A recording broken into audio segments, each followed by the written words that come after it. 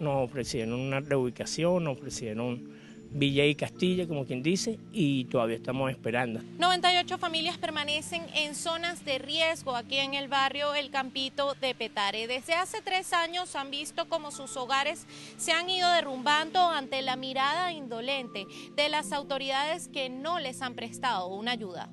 El señor José Rojas explica la situación que inició a finales del año 2018 y hasta el día de hoy no ha tenido ningún tipo de solución, pese a las promesas. Se solicitó una inspección a los bomberos, ellos vinieron y eh, en el informe colocaron que había un movimiento de tierra en masa que se estaba desplazando de la parte hacia arriba hacia acá. Ya las casas que estaban muy afectadas empezaron a desplomarse solas sin necesidad de tocarlas, como quien dice. Y a raíz de eso, eh, fuimos, la mayoría de los vecinos han ido, han, ido eh, unos se fueron al refugio, otros se han ido alquilados. Rojas, de 45 años, clama a las autoridades una solución habitacional que le permita salir adelante junto a su esposa y sus tres hijos pequeños.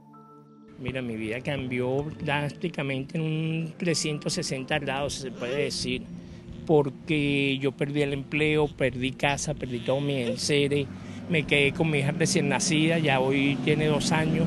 Me siento bastante decaído, me siento decepcionado, me siento, bueno, burlado, ¿qué te puedo decir? Por lo menos yo lo que siempre pensé o pensaba era un mejor futuro para mi familia, porque si yo por lo menos mañana me muero, mis hijos se quedan por lo menos con algo. Hoy en día tengo esa inquietud todavía, porque no tengo un trabajo estable, no tengo un trabajo fijo, porque siempre es algo, pues. Actualmente la familia vive en una construcción improvisada unos metros más arriba de lo que era su hogar y después de haberlo perdido todo.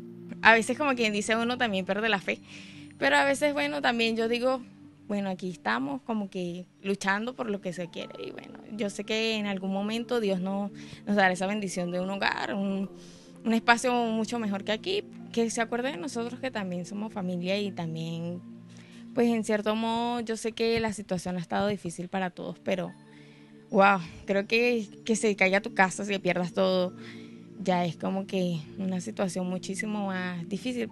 Otra afectada por la situación es la señora Ginette Díaz, quien junto a su hija de 10 años permanece en la zona de riesgo, pues asegura no tener las posibilidades económicas de mudarse a otro lugar.